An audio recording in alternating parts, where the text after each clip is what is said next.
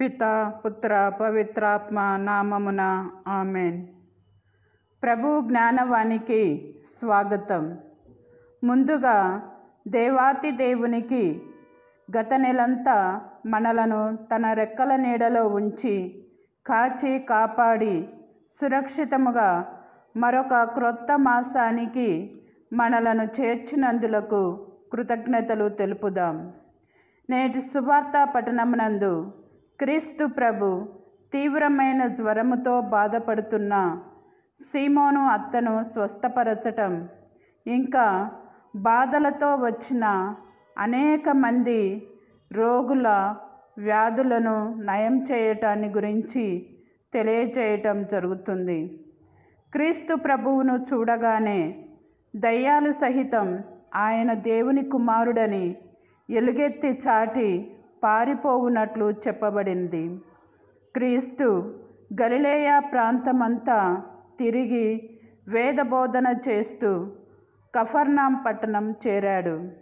అప్పటికే ఆయన చేస్తున్న బోధ ఆయన పేరు ప్రతిష్టలు చుట్టుప్రక్కలంతా వ్యాపించాయి. సాయంత్రం అయినప్పుడు అనేక మంది రోగులు ఆయన యొద్దకు కొనిరాబడ్డారు తన వద్దకు వచ్చిన రోగులపై ఒక్కొక్కరి మీద ఆయన తన హస్తాలను చాపి వారందరినీ స్వస్థపరిచాడు.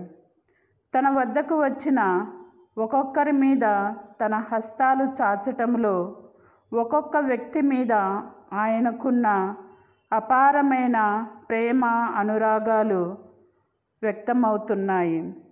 తన ప్రేమను ఈ విధంగా ఒక్కొక్కరి మీద వ్యక్తిగతంగా చూపి చివరన శిలువపై తన ప్రాణాలను అర్పించి మానవ జాతి అంతటి మీద సమిష్టిగా ఆయనకున్న ప్రేమను వెల్లడి చేశాడు. దయ్యాలు సహితం ఆయనను చూడగానే నీవు దేవుని కుమారుడవు అని కేకలు పెట్టి పారిపోవునట్లు నేటి సువార్తలో చెప్పబడింది. రక్షణ కార్యం సమీపింపగానే పైచాచిక శక్తులు అంతమందుతాయి. క్రీస్తు తన రక్షణ కార్యం ఏ ఒక్క ప్రాంతానికి ఏ ఒక్క జాతి నిమిత్తం కావించబడలేదు. నేటి సువార్తలో చెప్పబడినట్లు ఉదయం కాగానే ఆయన లేచి అరణ్య ప్రాంతానికి ప్రార్థన చేయటానికి వెళ్ళాడు. అప్పుడు జనసమూహమంతా ఆయన ఉన్న చోట కనుగొని ఆయనను తమ పట్టణము వదిలి పోవద్దని బ్రతిమాలారు. అందుకు వారితో నేను ఇతర ప్రాంతాలలో కూడా దేవుని రాజ్య సువార్తను గురించి ప్రకటించాలి. ఇందు నిమిత్తమే నేను నియమింపబడ్డాను అని సమాధానమిచ్చాడు.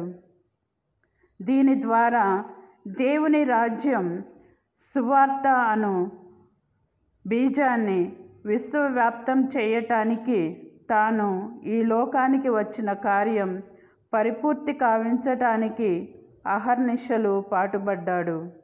ఇందుకోసం చివరకు తన ప్రాణాలను సహితం అర్పించటానికి వెనుదీయలేదు. తన ప్రాణ బలి ద్వారా క్రీస్తు మనకిచ్చిన రక్షణ సందేశం అందించిన మనం దానిని మన అనుదిన జీవితంలో చూపెట్టాలి.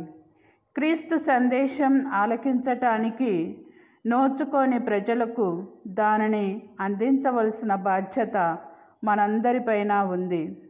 మనకివ్వబడిన ఈ సందేశాన్ని మన నిత్య జీవితంలో అడుగడుగున ప్రతిబింబింపజేయాలి.